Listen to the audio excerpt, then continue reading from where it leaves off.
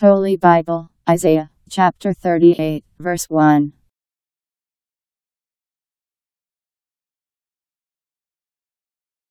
In those days Hezekiah was ill and near death, and Isaiah the prophet, the son of Amoz, came to him, and said to him, The Lord says, Put your house in order, for your death is near.